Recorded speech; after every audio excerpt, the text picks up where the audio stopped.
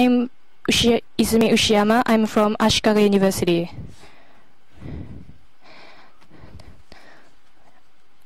You heard Professor Harashina talked about Bushido.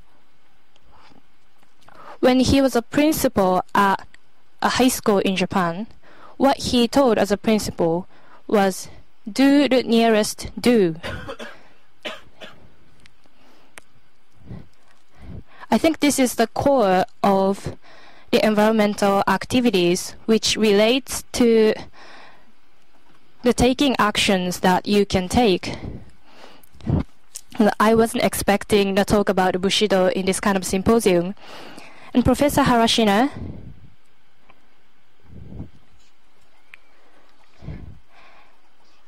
is working in the connection between commerce and industry, but I because I'm teaching engineering, in detail, I would like to talk about how we can do activities in the field of engineering. And one more thing, there are different cases that I would like to introduce to you. The recently, the late Mr. Ogata, who was the chair of JICA, and we got funds from JICA, and we were doing the renewable energy project in Kenya in partnership with JICA. So here are the contents of my talk today. The first, I would like to introduce how we are working towards more clean renewable energy use in Ashikaga University and what kind of facilities and devices that we use. This is actually the place located in our campus. We call it Wind and Sun Square in Ashikaga Institute of Technology, and we have small windmills to generate electricity, which is located in the park so anyone can enter within our campus. Sometimes we have a visitor, such as high school students and also students from different schools. I think we have around 7,000 visitors per year. I think it takes about two hours from here to visit this square. I'm sure it will be such a fun. And our university, one of the characteristics of our university is a triple hybrid generation system. What triple hybrid means is the combination of solar, wind combination, which actually depends on the climate and weather changes. Of course, if there's no wind, the windmill doesn't work, and if there's no sun, we cannot use solar power. But there's one stable power resource that we can use, which is a biomass. Actually, we can control and create by ourselves so that by using the biomass, PV, and wind in combination, we will create more stable and sustainable energy generation system. And also, a small water power can be utilized. This is a the facility facility that we use for biomass power generation. Here, what I'm pointing is where we put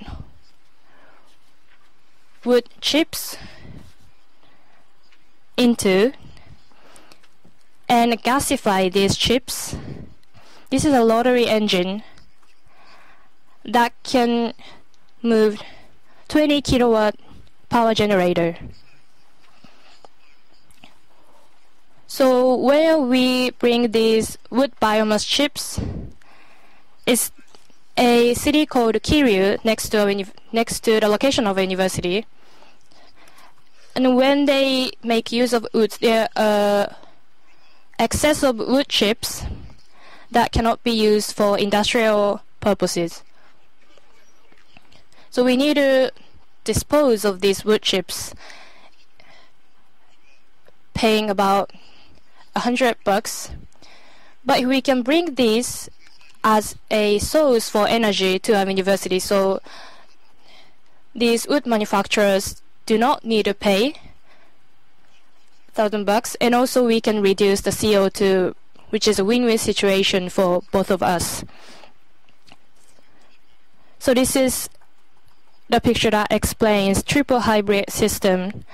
So each panel shows how much electricity each system is generating.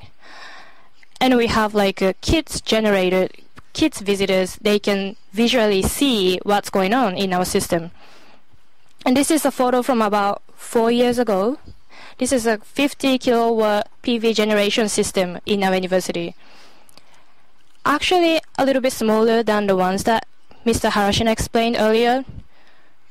You can see the cherry blossoms in here. And we are taking data, of course. Solar power battery is shown in the orange. Orange is a solar radiation, and when even a small cloud passes over the generator, the electricity can drop, so it's really unstable. So in areas like Hawaii, it can work, but in Japan, it can be very unstable.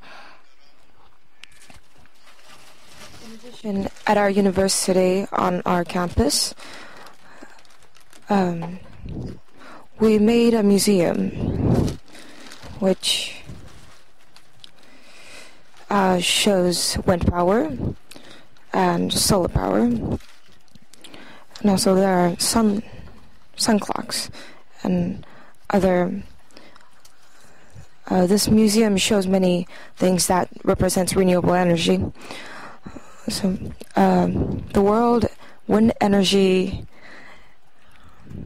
uh, the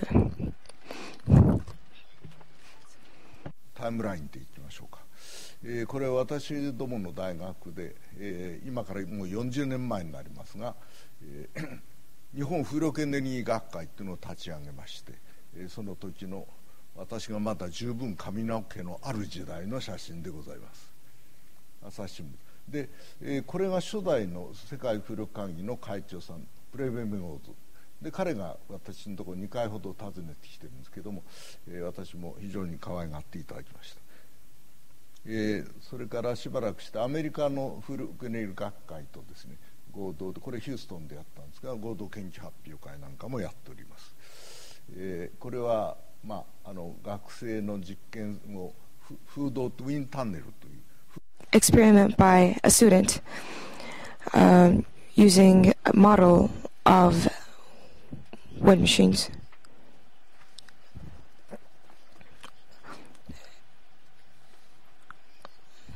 Uh, this is from a developing country. Um, this is this windmill can be created using abundant uh, resources. This is called the appropriate technology. Uh, this is from Indonesia. Uh, this these things were also created by me. Uh, this one is this one was from JICA. And this is a vertical axis type windmill.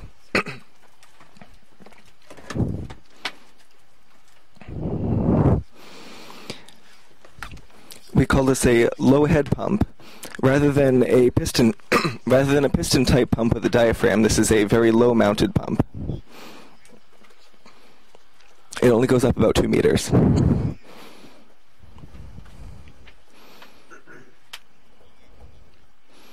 And so this is perfect if you only need to pump water a short distance.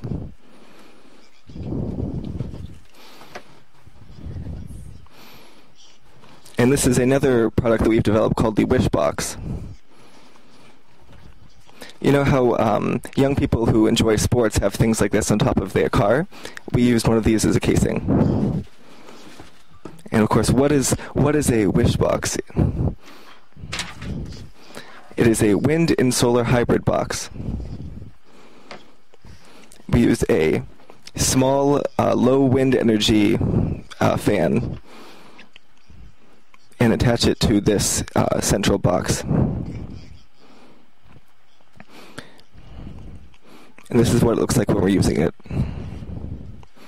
And you can put this together in 5 or 10 minutes.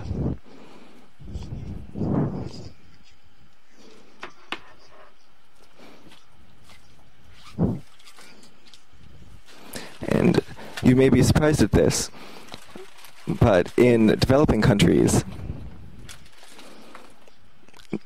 there are not many hospitals. And so, of course, there are doctors who make the rounds and go to various places. And they use small refrigerators to store vaccines. And we've been using this type of power generator to power those refrigerators. And in fact, the uh, UN has stated that they want to use these in that way. And so this was not a way of using it I had initially thought of, but it's very effective.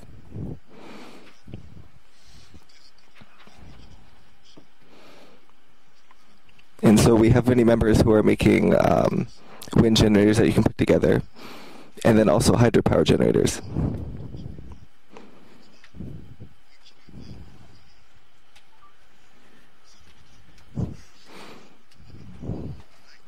And so ideally you would want a water turbine, but they're not very easy to get a hand of. So it's important to be able to make your own for less money. And so we've been experimenting with making those. And so this is a um, biomass energy. It appears that the time is running out, so I'm going to keep going. Uh, this is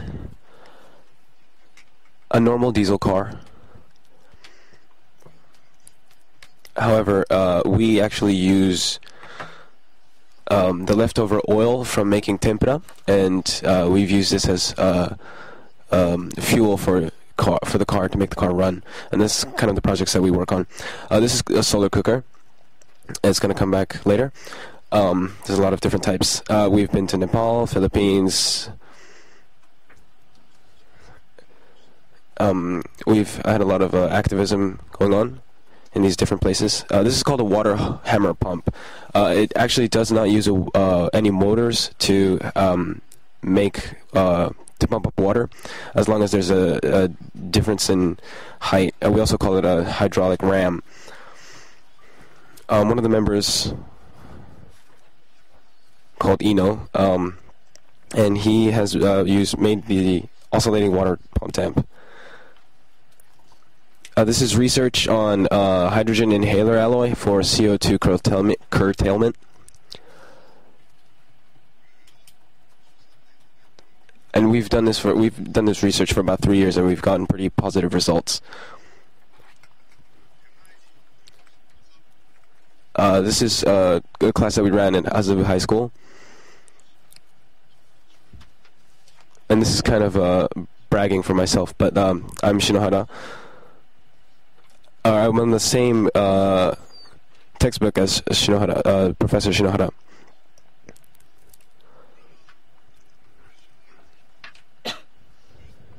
And I get a lot of uh, requests um, from elementary schools. So this is me giving lectures in elementary schools, and this is this pic is from last June. This is in Yokohama Futaba All Girls Elementary School. Actually, it was about like two days ago. We had the same kind of thing with Professor Nakajo. This is a delivery and experiments at kindergarten.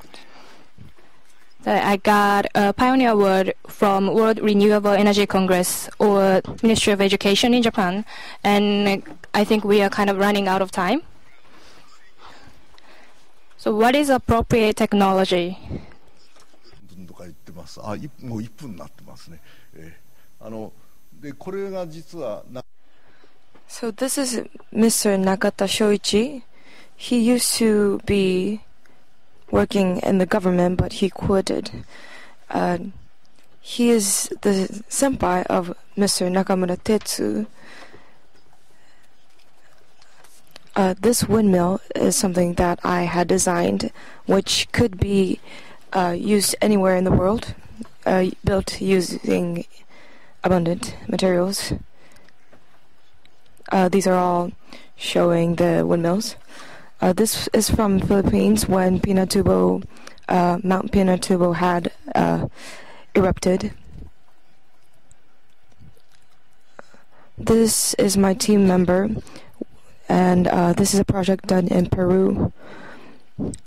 Uh, this is me. Um, I had students come with me to Vietnam and built uh, the sol- solar panel.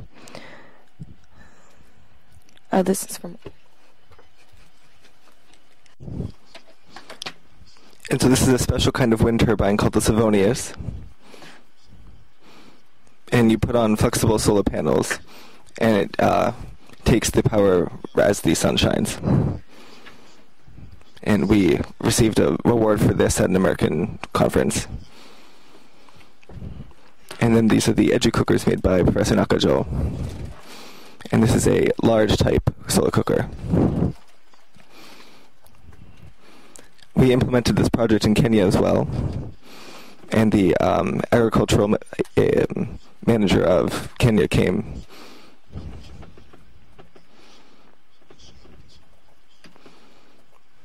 And uh, praised our work there and was very happy. We've also been doing a high school science camp where we use the solar cookers, the small scale wind turbines, and then have them hand make uh, PV panels as well. And of course, they've been very good students.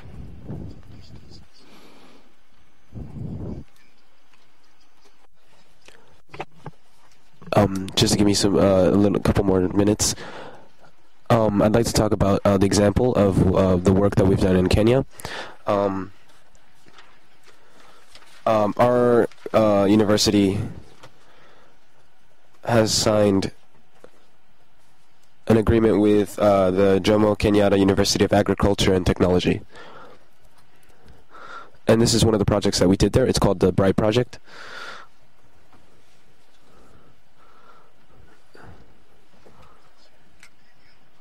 Uh, this is the vice um, pr- uh, principal, and he actually has uh, experience of studying in Japan.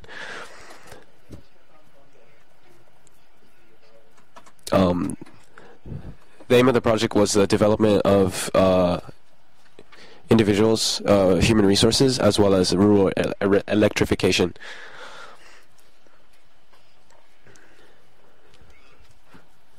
This is uh, the gasification of rice husks.